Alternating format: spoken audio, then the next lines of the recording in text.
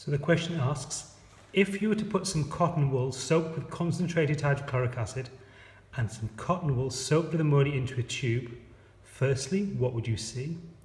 Question 2, write an equation for the product that is formed. And part 3, how can you explain why the product is formed closer to one end than the other? So we're going to do the experiment now, record our observation and think about the questions.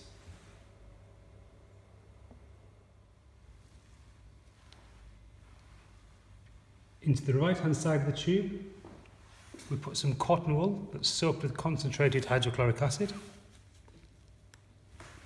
And into the left hand side of the tube, we put some cotton wool that's soaked with concentrated ammonia.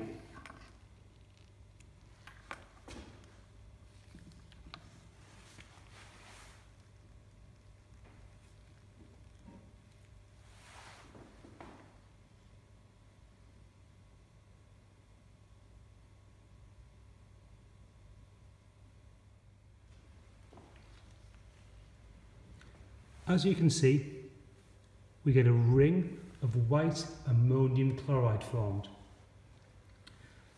The hydrochloric acid and the ammonia diffuse along the tube and where they meet we get the NH4Cl, the ammonium chloride.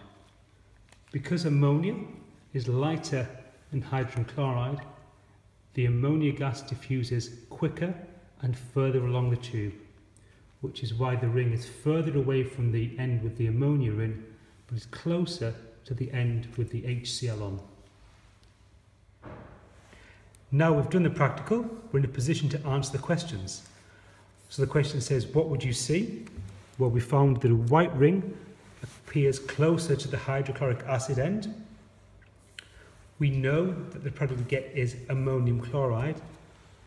So we could write a word equation which would be ammonia and hydrogen chloride goes to ammonium chloride, or the symbol equation would be NH3, which is ammonia, plus HCl, which is hydrogen chloride, goes to NH4Cl, which is ammonium chloride. And part 3 says, how can you explain why the product is formed closer to one end than the other end? So because ammonia is lighter than hydrogen chloride, the ammonia diffuses faster than the hydrogen chloride.